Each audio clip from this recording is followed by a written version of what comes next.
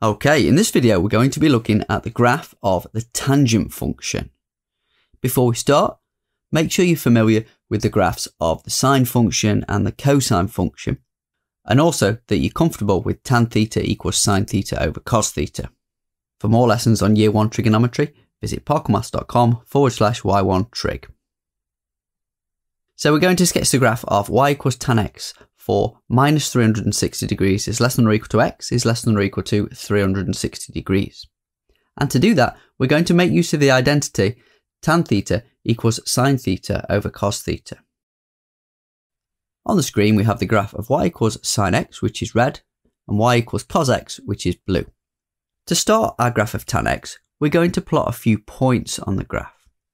First of all, I'd like to consider what happens when x equals 0 at x equals 0, sine x is 0, and cos x is 1. So when we do tan x is sine x over cos x, we get 0 over 1, which is 0. We have a similar thing happening at x equals 180 degrees. Sine x is 0. This time cos x is negative 1, but 0 over negative 1 is still 0. Moving over to 360, a third time, sine x is 0, cos x is 1, and so that means that we get tan x equals 0. So that's three points that we know that our curve is going to go through. Next up, I'd like to think about what happens at 90 and 270. At 90, cos x equals 0.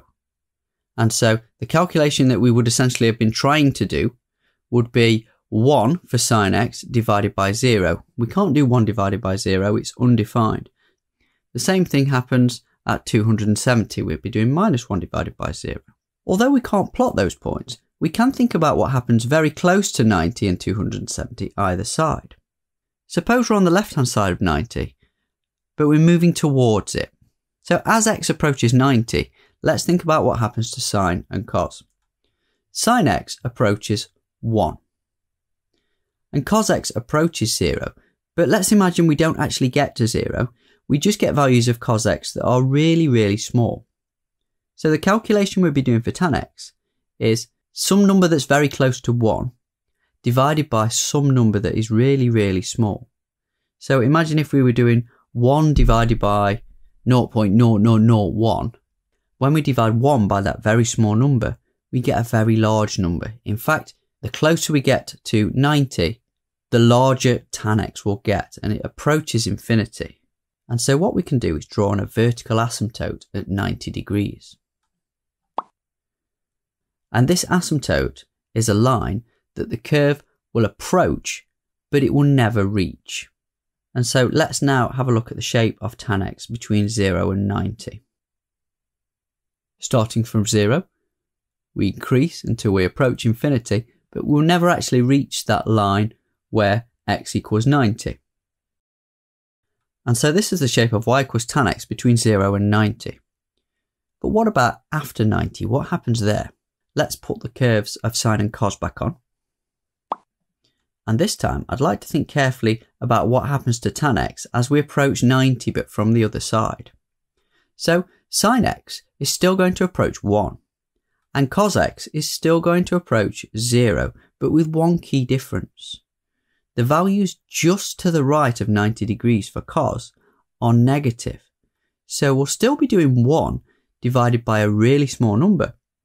But that really small number will be negative, and so the answer that we get for tan x would also be negative. And so what we have is a curve that starts very close to 90 with very large values approaching infinity and then that curve will come up towards the axis, crossing at 180 degrees. Let's draw that on. Now let's think about what happens between 180 and 270. Once we pass 180, sine and cos are both negative. But if we do a negative divided by a negative, we get a positive. And so after 180, our curve will be positive. Let's have a think about the shape. We're going to get a similar thing happening at 270 to what happened at x equals 90. As we said earlier, we're undefined at 270 because we can't divide by 0. This time, the value of sine x as we approach 270 will approach negative 1, and the values of cos x will approach 0. So we're going to be doing negative 1 divided by a number that's really small, but remember that number is negative, so that's going to give us a really large number again. So we're going to approach infinity again at 270. So let's add on an asymptote first of all. And then we'll take our graph from 180, 0 up to 270 approaching infinity.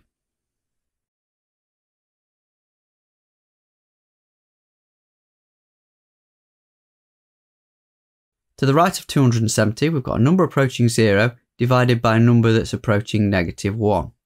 Once again, we're going to be off at infinity, but this time we're doing a negative divided by a positive, so it will be negative infinity. So our curve will come from negative infinity and it will go up to 360 0. And so that's the shape of our tan curve. Let's take off sine and cos so we can see it a bit more clearly. And what you might spot is that although sine and cos repeat every 360 degrees, we can see that tan repeats itself every 180 degrees. So we could, if we wanted, draw this graph beyond 360, repeating the same pattern.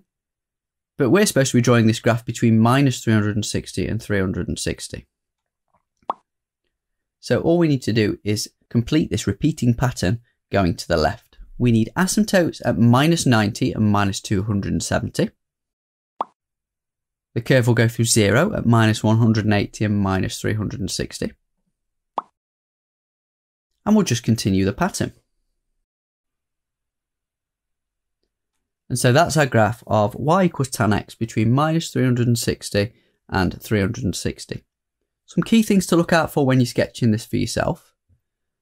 Before you start, it's probably a good idea to mark the x-axis every 90 degrees and then put some asymptotes at plus or minus 90 and 270.